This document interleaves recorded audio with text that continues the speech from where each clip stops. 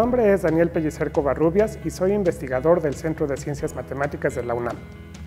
Hoy voy a platicarles de unos objetos que se expanden en las tres direcciones del espacio, pero no de la manera que nos expandemos nosotros al crecer.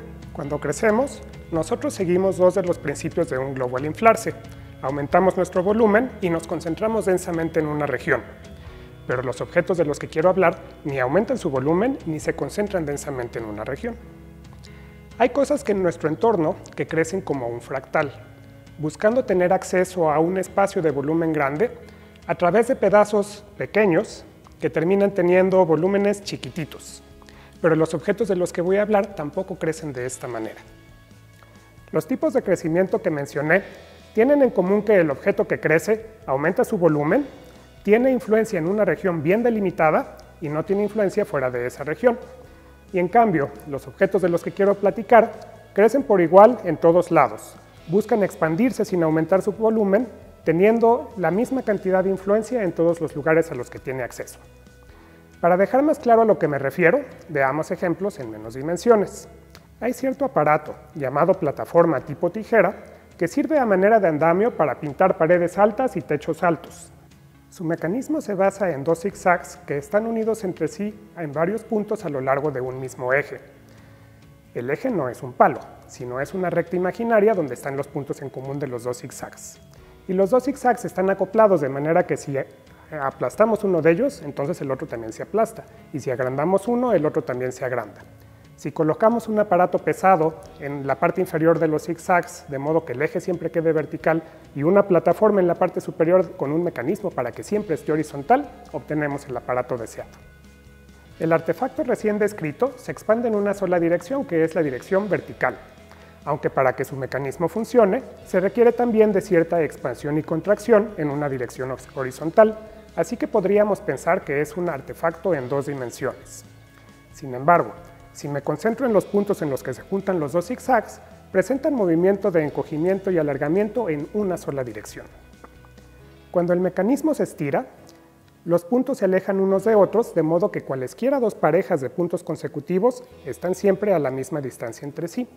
Al principio esa distancia es cero, todos empiezan esencialmente en el mismo lugar y conforme el aparato se va estirando, esa distancia va aumentando hasta el límite impuesto por las piezas del aparato. Salvo ciertos detalles de ingeniería que ignoraré de momento, el artefacto me debería permitir pintar una pared tan alta como yo quiera. Para ello, podría o bien agregar más segmentos a los zigzags o hacer los segmentos más largos. Dicho de otra forma, en teoría, este mecanismo funciona para llegar tan lejos en la recta unidimensional como yo lo necesite. Los puntos en el eje muestran un tipo de crecimiento y encogimiento en una sola dirección, con muchas similaridades con el tipo de crecimiento y encogimiento en tres dimensiones de las que les quiero platicar. De este movimiento quiero resaltar tres aspectos. Primero, para entender el movimiento de los puntos, me basta entender el movimiento de dos o tres puntos consecutivos. Segundo, si la distancia entre dos puntos consecutivos aumenta o disminuye, entonces la distancia entre cualquier otro par de puntos consecutivos aumenta o disminuye la misma distancia. Tercero, teóricamente, alguno de los puntos que se están moviendo podría alcanzar cualquier punto de la recta por medio de este movimiento, sin importar qué tan lejos de mí esté ese punto. Ahora vamos a subirle uno a la dimensión. Quisiera un mecanismo que se estira y se contraiga simultáneamente de manera horizontal y vertical con algunas de las propiedades que mencioné del movimiento unidimensional. Podría poner juntas varias plataformas tipo tijeras con su movimiento unidimensional, pero el movimiento que describen seguiría teniendo un carácter unidimensional. En vez de eso, puedo recurrir a las estructuras llamadas augéticas, también conocidas como auxéticas, que son aquellas que tienen la propiedad de que si las comprimo en una dirección, también se comprimen en la otra. Por ejemplo, tomemos una estructura hecha por segmentos de recta unidos entre sí de manera que formen una teselación de hexágonos y que tengan libertad de movimiento donde se unen unos segmentos con otros.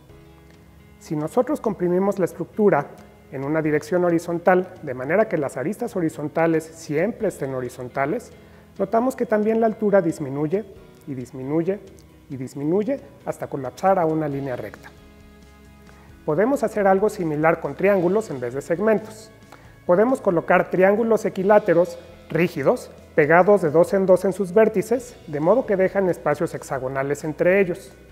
Y además podemos darle movimiento a los vértices, de modo que los espacios hexagonales se vayan comprimiendo hasta desaparecer. Durante todo el proceso, los triángulos no cambian su forma y tamaño, solo se van girando y desplazando. En un inicio, la estructura tiene un área delimitada por los triángulos que se va comprimiendo tanto vertical como horizontalmente hasta que al final se cubre una superficie de una cuarta parte del área original. Estos dos movimientos de estructuras en el plano tienen varios aspectos en común. Uno de ellos es que las estructuras se pueden extender arbitrariamente en el plano o incluso abarcar el plano entero y preservan sus propiedades de movimiento. Otra particularidad de estos movimientos es que se les puede describir a través del movimiento de una porción pequeña de estas estructuras y recuperar el movimiento completo tan solo trasladando las distancias adecuadas en las direcciones adecuadas. Como consecuencia de esto, hay un conjunto de puntos que forman una retícula base de la estructura que se alarga o se contrae conforme el movimiento progresa. Y finalmente, estos dos movimientos también tienen en común que si se contrae la estructura en la dirección horizontal, también se contrae en la dirección vertical, mientras que si se expande en la dirección horizontal, también se expande en la dirección vertical. Las estructuras de las que quiero hablarles cumplen las propiedades anteriores, pero en su versión tridimensional. En el momento en el que una de las estructuras está más estirada, se ve así.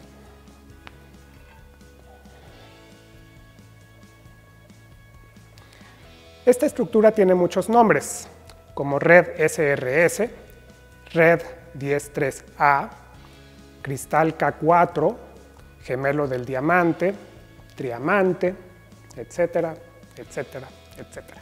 Hoy me voy a referir a ella como la gráfica de Laves, nombre ideado por el geómetra Donald Coxeter en honor al cristalógrafo alemán Fritz Laves, quien en 1932 conjeturó que algunos cristales debían tener sus moléculas enlazadas como lo ilustra la estructura, cosa que se verificó años más tarde y resultó cierta. A lo largo de los siglos XX y XXI, la gráfica de Laves ha sido objeto de amplio estudio por parte de cristalógrafos y también de matemáticos. Antes de mostrar a la gráfica de Laves como una estructura con movimiento, voy a platicarles de algunas de sus propiedades. La gráfica de Laves se puede construir a partir de regiones pequeñas como esta, que ustedes pueden tratar de identificar aristas verdes de aquí con aristas verdes de acá, y tomando varias copias de modo que embonen en las tres direcciones cartesianas.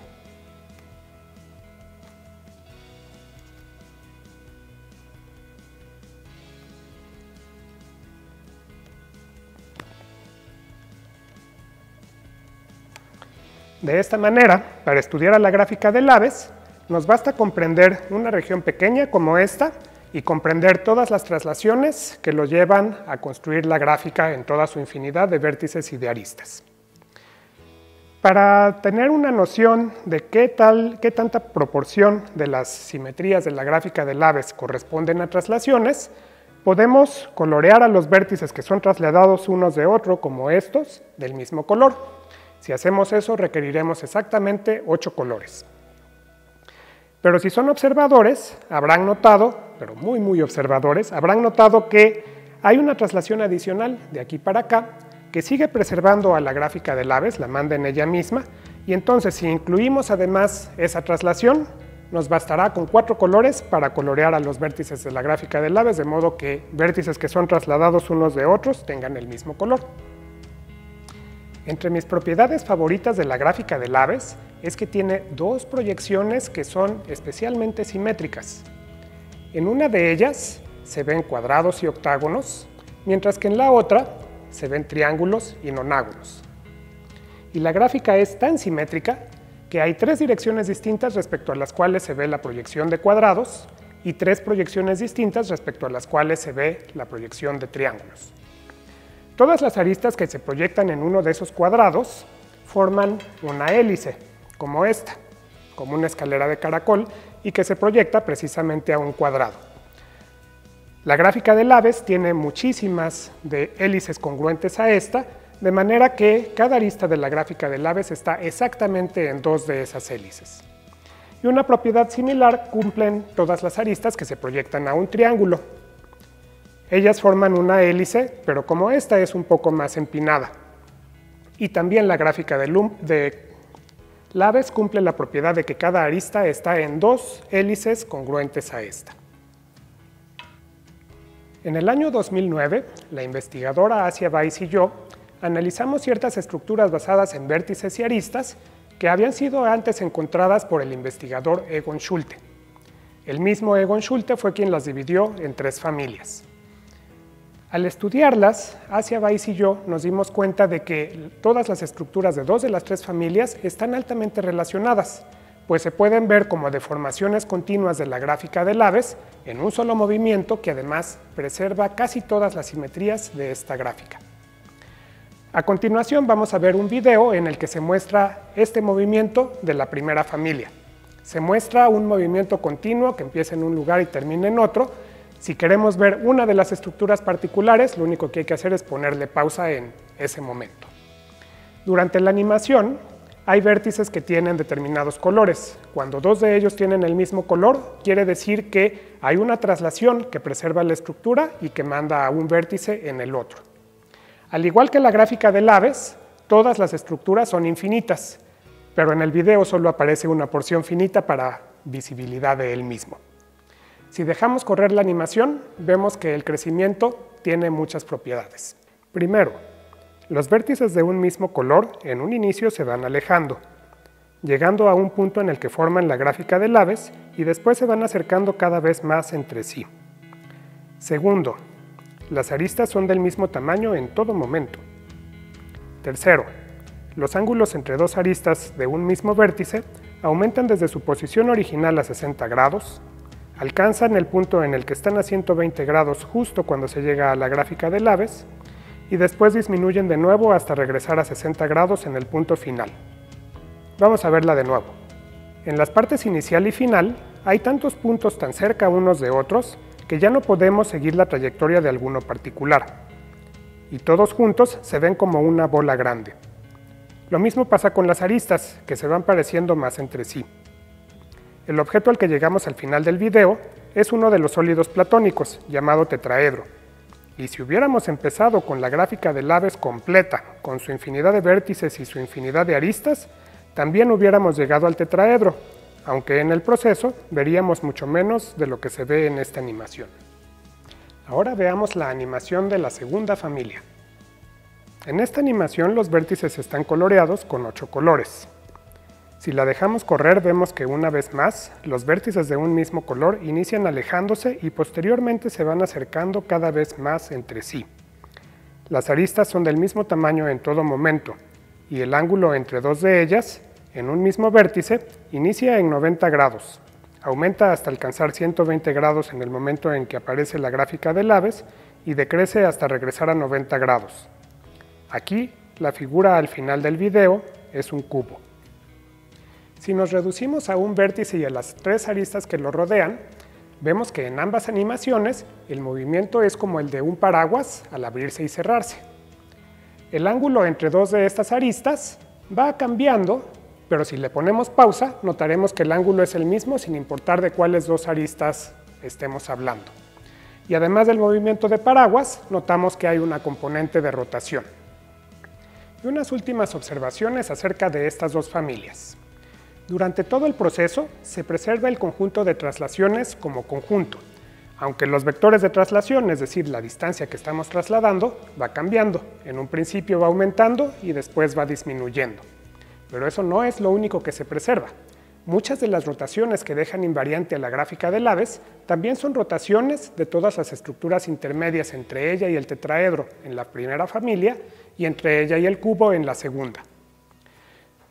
Bajo el entendimiento del área de las matemáticas llamada teoría de grupos, puede decirse que la mitad de las simetrías están presentes en todas las estructuras intermedias, pero la otra mitad no. El término que usamos es decir que hay un subgrupo de índice 2 invariante de todas las estructuras. En resumen, mostramos dos maneras de colapsar a la gráfica del Aves a sólidos platónicos. En una el resultado final es un tetraedro y en la otra es un cubo. Durante esta deformación continua, se preserva la mitad de las simetrías de la gráfica del AVES.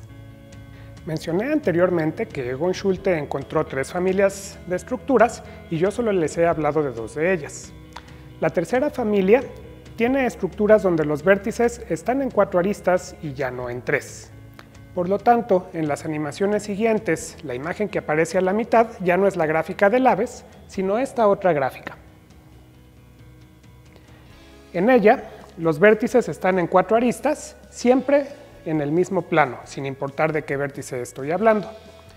Esta gráfica puede entenderse como un subconjunto de la gráfica de la teselación de cubos, donde eliminé todos aquellos vértices cuyas coordenadas son todas pares y todos aquellos vértices cuyas coordenadas son todas impares.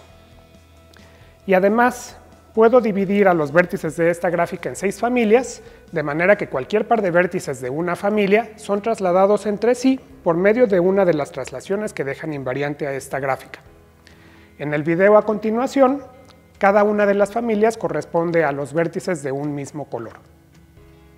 Estas animaciones muestran el mismo objeto, pero fueron tomadas desde ángulos distintos. Así como en las dos primeras familias, las estructuras de la tercera familia se pueden ver como deformaciones de esta gráfica con una sorprendente diferencia del comportamiento de las otras dos. Cuando llegamos a la posición intermedia, los vértices y aristas se identifican por parejas, y cuando nos movemos desde la posición intermedia, cada vértice y cada arista se divide en dos sin que la estructura global se desconecte. Fuera de eso, las similaridades con los dos movimientos anteriores son muchas. Los vértices de un mismo color inician todos juntos, se van alejando y después se van acercando de nuevo. Las aristas siempre tienen el mismo tamaño.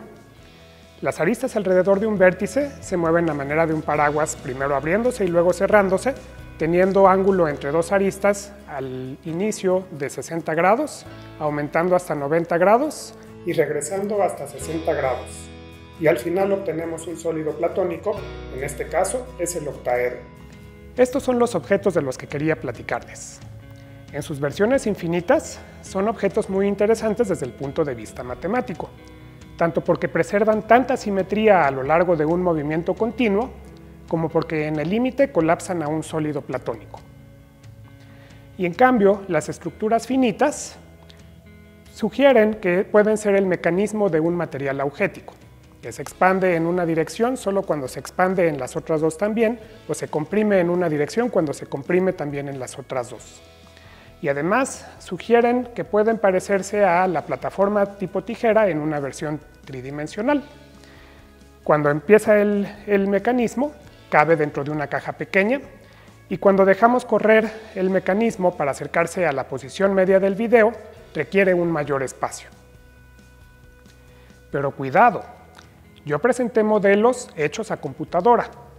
A la hora de intentar hacer un modelo físico, debemos tomar en cuenta que hay puntos donde dos aristas se cruzan, lo que representa un límite para el encogimiento que pudiera tener el modelo.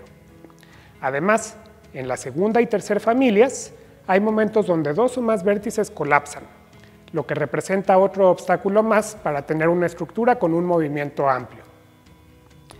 En este momento, en mayo del año 2022, no sé de ninguna aplicación práctica de estos movimientos, pero me encantaría algún día enterarme que se usan para cosas de la vida diaria.